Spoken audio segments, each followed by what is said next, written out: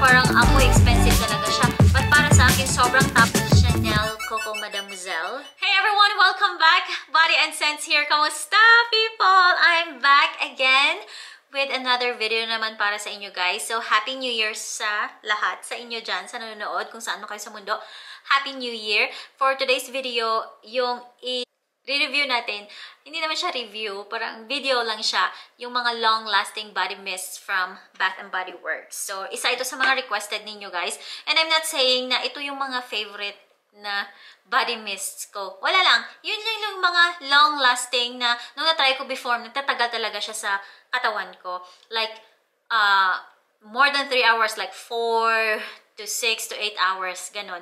But let me know in the comments, guys, kung ano yung masasabi ninyo sa mga scents na ito. Very helpful siya sa ibang mga viewers natin. Kasi iba-iba naman tayong body chemistry, iba-iba naman tayong mga ilong, may matangos, may pango. So, kung ano yung maamoy nyo, guys, let me know in the comments kung ano sa tingin nyo itong mga scents na ito, kung na-try nyo na. And please, don't forget, kung bago kayo dito sa channel na ito, please don't forget to like and subscribe sa ating channel para updated kayo, okay? So, wag na nating patagalin. Yung unang-unang ipapakita ko sa inyo, guys, proven and tested na ito na uh, tumatagal talaga siya. Nung na-try ko, sobrang tagal niya, like 6 to 8 hours. Ito yung You're the One. As in, sobrang tagal nito sa katawan ko nung na-spray ko siya. Fragrance notes nito, white birch, velvety rose, and a drop of strawberry nectar. You're confident, sparkling, beautiful, you're the one. And yes, too floral siya para sa akin. Yung amoy na amoy mo talaga yung rose na note na floral note. And then, a hint of strawberry na nagbibigay siya ng sweetness. And overall, maganda siya. Maganda yung scent na ito. Maraming nagsasabi na mamahalin yung amoy niya, expensive perfume. But for me, I do agree na maganda siya. But etong scent na ito, nahihilo ako. I don't know guys, sobrang hilong-hilo ako dito sa scent na ito. Hindi siya mature na sobrang panglola. Hindi, mature, sakto-sakto lang na pagka-mature na scent. Hindi siya panglola, but yun lang yung comment ko dito sa scent na ito na nahihilo ako sa scent na ito. Na na-try ko din siya, sabi ni Mr. Ano ba yung ginamit pang parang nahihilo din siya sa You're the One. So yeah.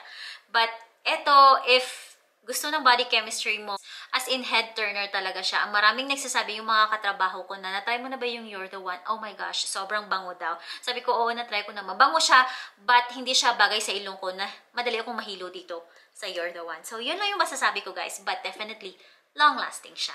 Next na ipapakita ko sa inyo guys, isa ito sa mga, ang dami nagko-comments na ito daw yung isa sa mga favorite perfumes or mists ni Heart Evangelista, itong Dark Kiss. Ayan. And actually, nung pumunta ako sa store like last week, nagiba na yung packaging ng Dark Kiss.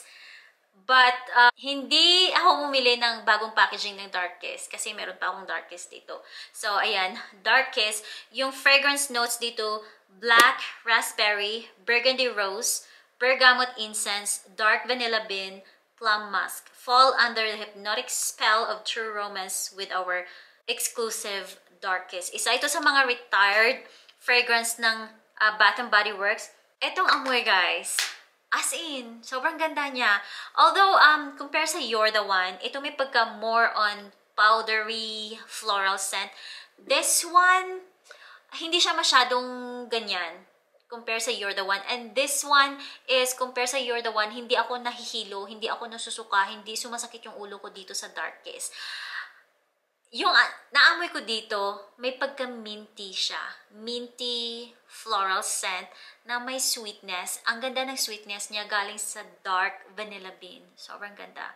Ano siya? Deep, sexy, feminine scent na perfect for like date night, gano'n, mga romantic night, itong dark kiss. Sobrang ganda niya. For me, hindi siya masyadong mature scent para sa akin.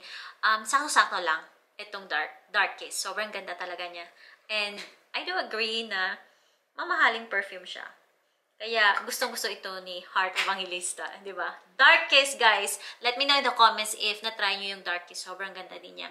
So, next na isi-share ko sa inyo, guys, ito yung Into the Night. Nakikita nyo guys sa bottle, like, New Year's Eve, like party na party, di ba? Ang ganda actually ng uh, Into the Night na bottle.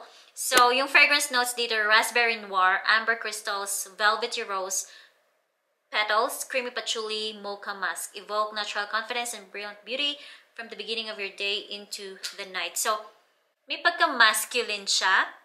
And then, feminine. Para sa akin, unisex itong scent na ito. Bagay siya pang lalaki, bagay din siya pang babae.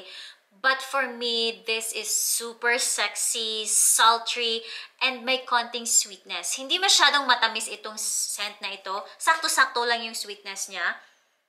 But, mm, ito yung scent, guys, na um, nagbibigay siya, nagli-lift yung confidence mo dito. Like, I'm the woman who can conquer the world. Itong scent na ito. Sobrang ganda actually. Nagustuhan ko itong Into the Night. And, long-lasting din siya, yung Into the Night. So, let me know guys kung anong masasabi nyo dito. Maraming nagsasabi na hindi din nila gusto kasi ganito-ganito. So, let me know in the comments kung ano masasabi nyo, kung ano yung reaction ng mist na ito sa body chemistry nyo. Okay? So, next na ipapakita ko sa inyo guys is ito yung, of course, Dahlia. Maraming nagkagusto dito sa Dahlia. Actually, ako, nagustuhan ko yung Dahlia guys. But, But, anyway, so yung fragrance notes dito, Velvet Dahlia Petals, Crisp Pear, Praline Musk, Whipped Tonka Bean. So, yung Dahlia, guys, um, very beautiful floral scent siya. Um, ito yung amoy na dalagang dalaga, yung ganon. Very youthful yung amoy niya.